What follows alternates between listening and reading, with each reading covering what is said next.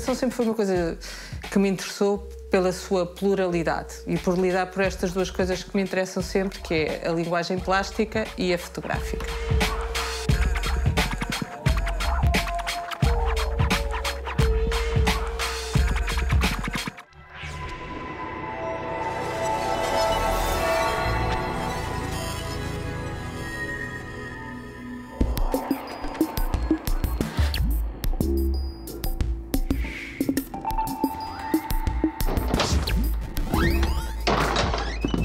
O, o primeiro filme que eu fiz eh, de um modo assim mais eh, profissional, que foi o de Cabeça Perdida. É a dita viagem de um homem que perdeu a cabeça. Eis que começa o dia de cabeça perdida à procura daquilo que morou por cima dos meus ombros.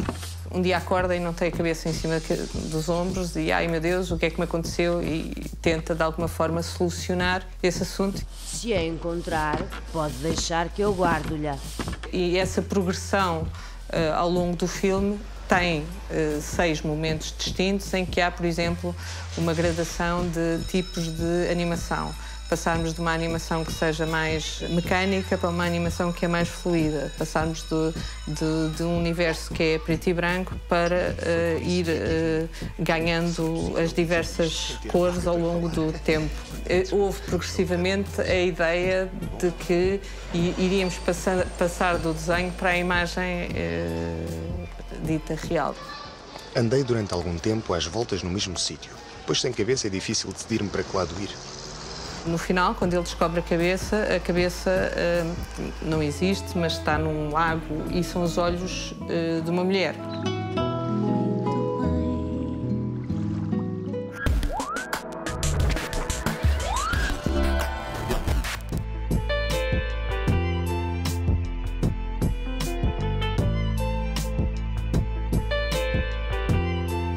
Minha área de formação foi sempre na área do, dos audiovisuais, fotografia, foto dos 14, 15 anos. Havia também lá, lá dentro da António Arroio uma tentativa de fazer cinema de animação, porque tinham vindo cá uns senhores da Royal College, a Gulbenkian, feito um workshop. Algumas das, dos meus professores nessa altura da António Arroio tinham feito esse workshop e resolveram implementar na escola também a realização de animação não é a mesma coisa e o Manuel de Oliveira dizia bem, enquanto um escritor nós podemos estar a escrever com uma caneta Bic ou com uma caneta ou com uma pena, mas o, o texto é o mesmo, uh, filmar com uma determinada câmara ou com outra com outras características é totalmente diferente.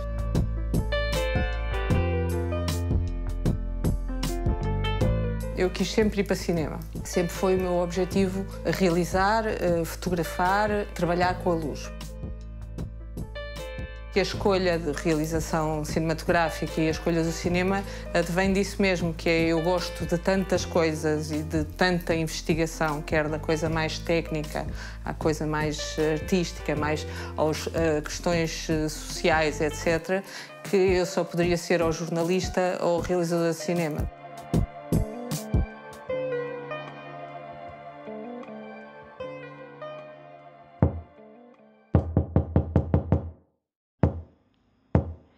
Ser ou não ser? Ser ou não ser? O seu foi o tal filme que surge de uma série de, de bloquinhos meus, desenhos eh, uns atrás dos outros, de uh, algumas ideias formais uh, muito específicas, que era esta coisa de porque é que as coisas têm que ser todas iguais, porque é que uma forma tem que manter a sua forma o tempo todo.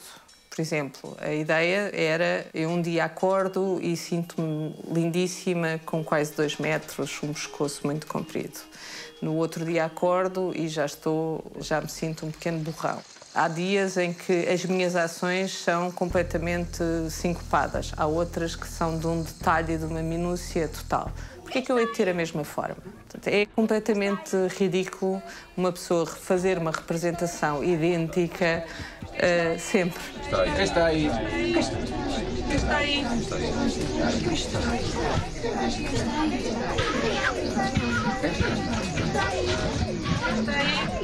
Está aí.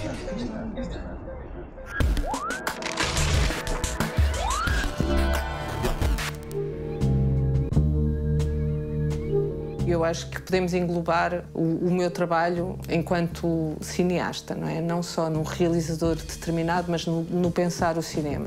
E depois, aí dentro, claramente, nas funções da imagem. Mas a imagem em cinema é uma imagem audiovisual e, portanto, como tal, nunca podemos tirar o, o fator tempo nem o fator som àquilo que é a construção da imagem. Som é extremamente importante em todos os meus filmes e muitos deles são construídos eh, em base ou tendo em base a construção sonora. os processos divergem conforme os filmes. Não há um modo único e cristalizado do qual nascem os filmes. Não é? Portanto, os filmes podem nascer de uma série de inputs. Que acontece é que os materiais que eu utilizo uh, estão associados àquilo que é uma técnica uh, de stop motion. Mas nós não podemos reduzir uma forma de arte a uma técnica.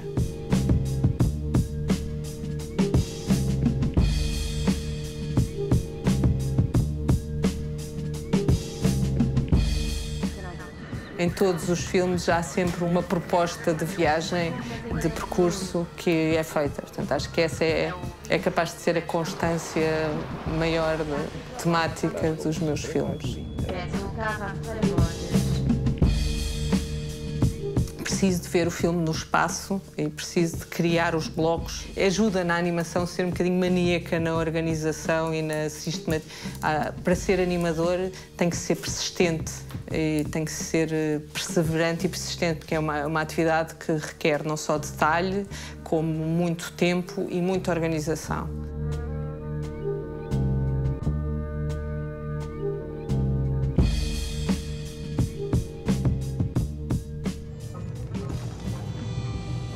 Eh, resolvi fazer um western. Não há nada mais, mais básico que um western. O bom, o mau, tanto o mau usa o chapéu preto, o bom usa o chapéu branco. Não um western comum, mas um western pré-histórico eh, de Foscoa. Portanto, que aconteceria nas paredes de Foscoa com as vacas de, de Altamira e de Lascaux e dessas coisas todas e, portanto, era essa plasticamente a, a dinâmica. É um projeto diferente de todos os outros.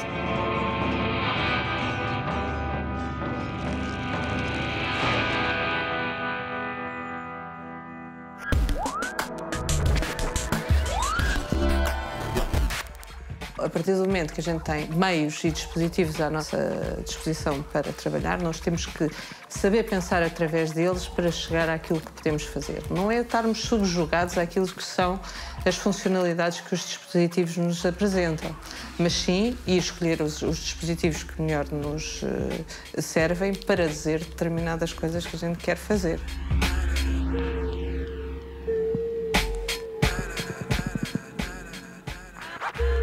Os dispositivos digitais permitiram exponencialmente uh, criar, mas também Uh, nos inundaram com uma série de algoritmos. Um brush para o Photoshop para o Painter não é mais do que uma, um, uma programação. Portanto, o controlo eh, é enorme. Agora depende se a gente quer agir sobre esse controle e, em último caso, são-nos vendidas as ferramentas com a possibilidade de nós podermos formatá-las para tal. Hoje em dia as coisas não estão facilitadas, as coisas estão muitíssimo mais complicadas. Agora, são-nos dadas ou são-nos digeridas de um modo em que a gente acha ou compre essa matemática como sendo uma matemática simples.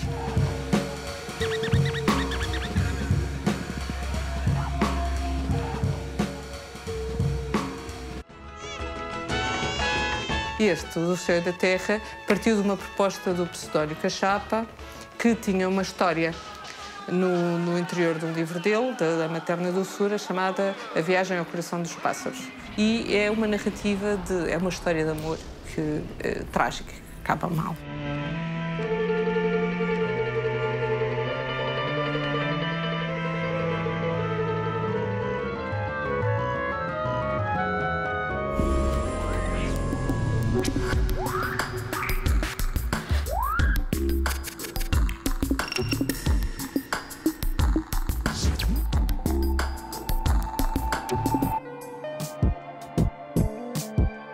Poucos segundos podemos eh, passar de um grande plano para um plano eh, só por uma troca de linhas e, e, vai muito de encontro daquilo que eu acho do cinema e do cinema de animação, que é a lógica está no interior da imagem. É uma das minhas eh, investigações formais permanentes é esta coisa da forma, da constância e da inconstância da forma. E é uma das coisas completamente libertadoras da animação, é que de facto a gente não pode ter a certeza de nada.